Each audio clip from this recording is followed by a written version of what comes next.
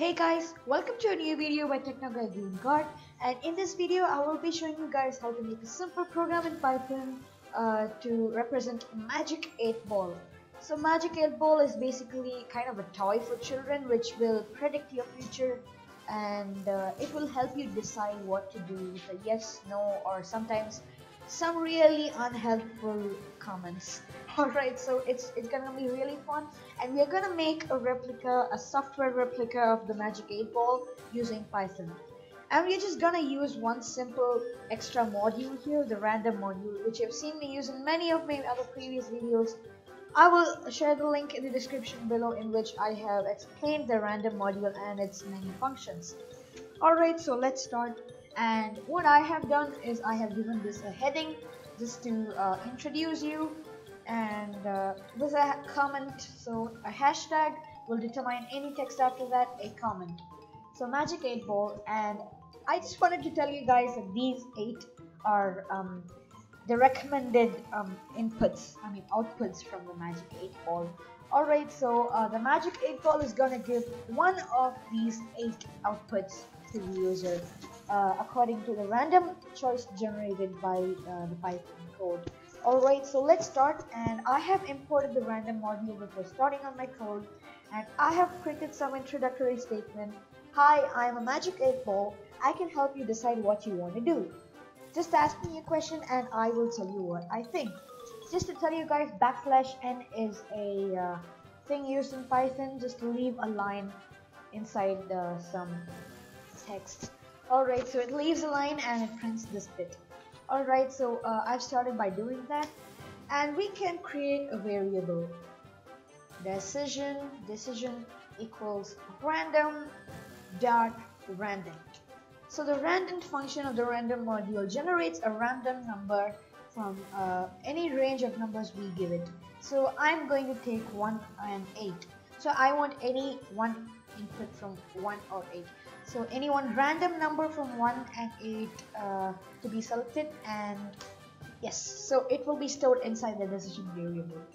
Alright and after that now that's done I will say if decision equals 1 so I have just decided that if it's 1 2 3 then it's gonna be a positive output 4, 5 and 6 will be a um, some kind of non-committing. It's not.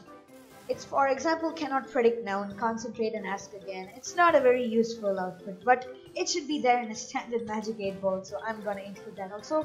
3 for positive, 3 for nothing, and 2 for negative, saying no. Alright, so if the decision equals 1, so I'm gonna print without a doubt. Print without a doubt. Alright and I'm just gonna copy paste this for uh, decision 2 to 8 and I'll show you that.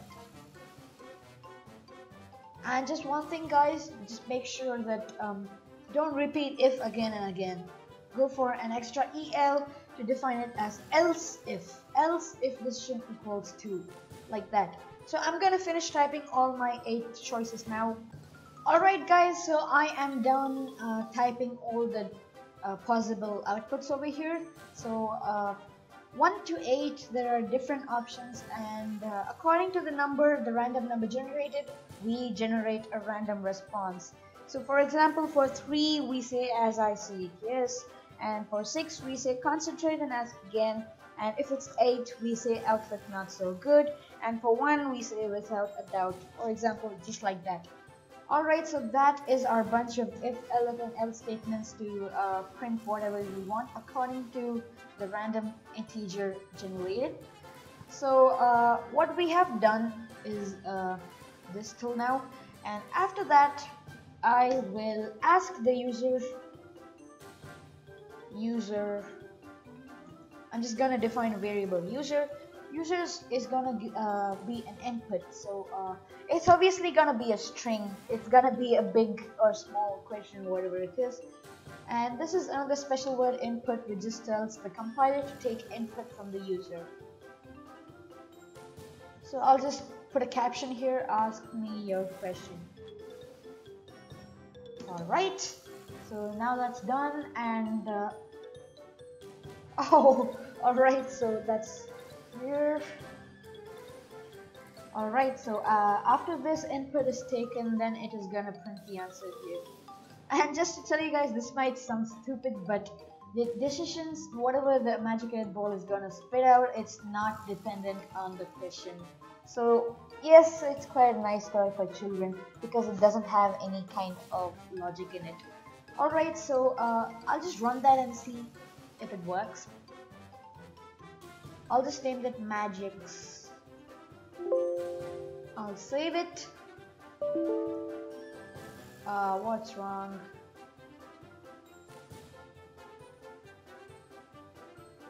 Oh yes, I forgot to put double equal to marks here. Just to tell you guys, if you don't put double equal to marks here, then it will result in an error because single equal to marks are uh, used to define the value of a variable.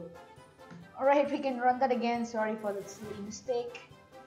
We can run that again and see if it's good uh, even here.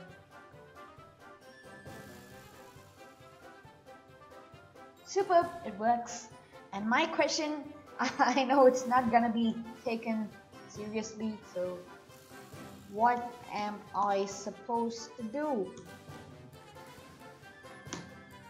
Okay, so uh, that's the, an answer there. We can run it again and check with a different question. Should I subscribe to this channel? Okay, I just hope it's positive because I want you guys to subscribe. oh no, it asks me to concentrate and ask again. I'll just ask it again. I'll ask it. Oh god. Okay, forget about it. Alright, so it's really tedious to run the program again and again to get my input. So what I'm going to do is I'm going to define an infinite while loop here to hold this whole thing and it will just be run over and over again until the user closes the program. So I am going to define this um, infinite loop true while true so true is a boolean value. Boolean value can be a false or a true uh, value. Okay, so uh, this true is never going to change to false unless we want it to change. Alright, so uh, while true is just an infinite loop which will run this thing over and over again as long as the unknown thing is true. So it's never to change. So what I'm to do is just select this whole bit of code and I will indent it uh, sorry about that. I'll select that again. And just to tell you guys this is in the keyboard shortcut for indenting a select a bit of text. Control plus uh, the keyboard button with uh, the ending square bracket will indent everything one space forward. Alright so we are done with that and we can run that again. And before that I just want to tell you guys I have moved this decision variable inside the while loop because we want that to be refreshed again and again and again. And obviously we want the question to be asked again and again. Okay? Should I subscribe to this channel?